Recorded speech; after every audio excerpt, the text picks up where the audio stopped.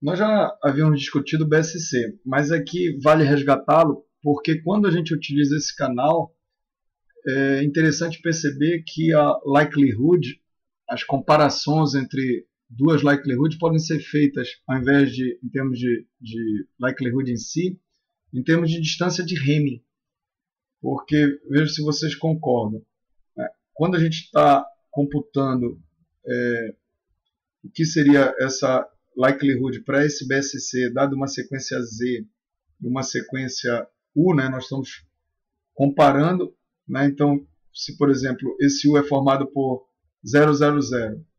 e aqui o Z é 000, significa que eu sempre tive é, um acerto, né, eu saí do zero e fui para o zero com probabilidade de 1 menos P, então eu teria 1 menos P elevado a 3 e a minha distância de Hamming é zero, né, já que não houve erro nenhum. Mas quando há um erro, aí eu vou ter, então, né, à medida é, é, que eu vou tendo erros, eu vou ter que computar, e aí essa distância de Hamming, que é o número de bits errados, é justamente aqui o expoente do P,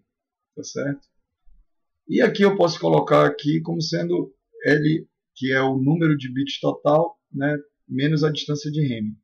O fato é, quando a gente tira log e rearruma isso, eu posso ver o seguinte, que a log likelihood, ela é, considerando que isso daqui é uma constante, certo? Já que o L é o tamanho da, da sequência codificada, essa log likelihood é inversamente, é, é, quer dizer,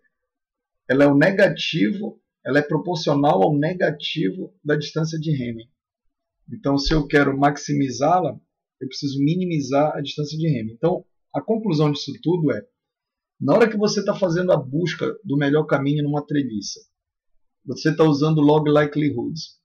Tanto faz você calcular realmente as log likelihoods, usar probabilidades aqui P e 1 menos P, e calcular essa log likelihood, quanto o resultado vai ser equivalente se você usar a distância de Hamming e agora ao invés de maximizar essa métrica log likelihood, você procurar a minimização da distância de Hamming. Então elas são equivalentes. Então aquela é, é, caminho a cada ramo, por exemplo, na treliça, quando o canal é BSC, pode ser feito com a distância de Hamming, que ela vai dar um resultado equivalente ao que a gente vai encontrar se usar likelihoods.